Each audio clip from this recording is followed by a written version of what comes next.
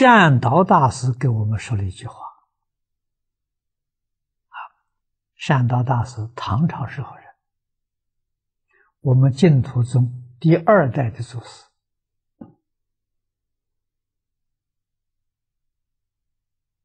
啊，历代传说，他老人家是阿弥陀佛应化到世间来的，日本人很相信。啊，日本人崇拜善导法师，比我们中国人超过太多了。中国人敬尊重善导大师的人不多，啊，日本人非常尊重。你到日本去，每一个寺庙里看到善导大师的塑像。啊，还有很多寺庙，那个招牌就叫善导寺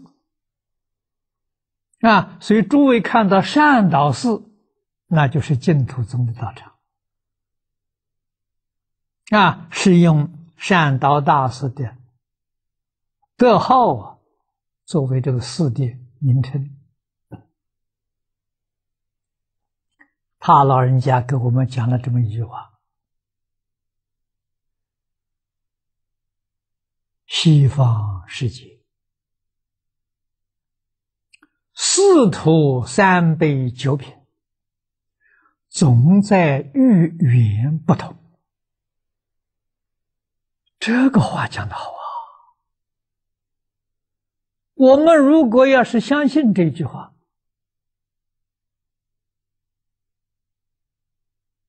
懂得善导大师说这句话的意思，那就是说明。你是四土往生到哪一土？往生到什么品位？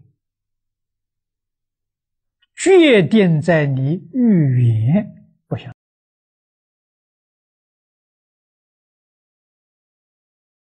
啊！我们今天遇到的缘非常殊胜啊！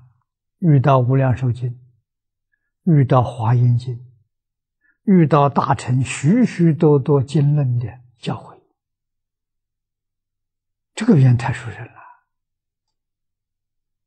啊！把四土三杯九品搞得清清楚楚、明明白白啊！我们也懂得啊，怎么成佛的，怎么成菩萨的，怎么成阿罗汉的，都搞得很清楚。这个语言不同啊，我们可以。把妄想、分别、执着通通放下，用清净平等觉的心念这一句阿弥陀佛。我们升到西方极乐世界，到哪里去？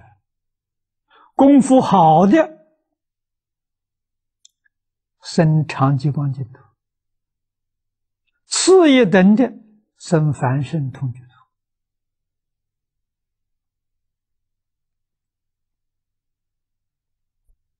啊，这就说明听经为什么很重要。听经的好处在哪里？帮助我们提升品位，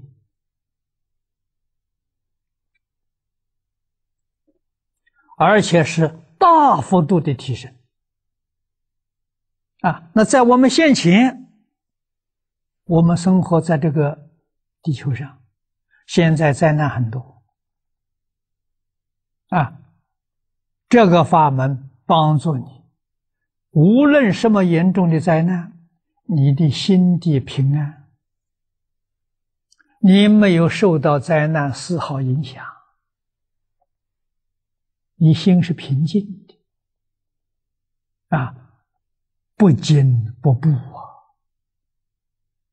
啊，没有恐怖啊，你看看这个经教有这么大的力量。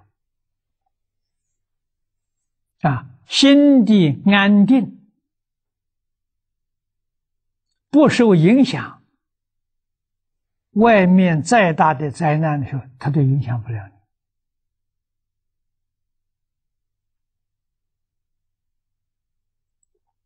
纵然在这个灾难当中死亡了，你就到极乐世界去了。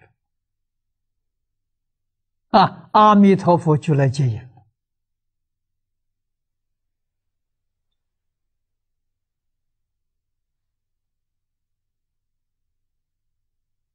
这一种殊胜的利益，其他法门里找不到啊！啊，其他法门不是没有啊，那个功夫很难修成。啊，尽宗容易，只要你肯干，只要你肯放下，人人可以做得到。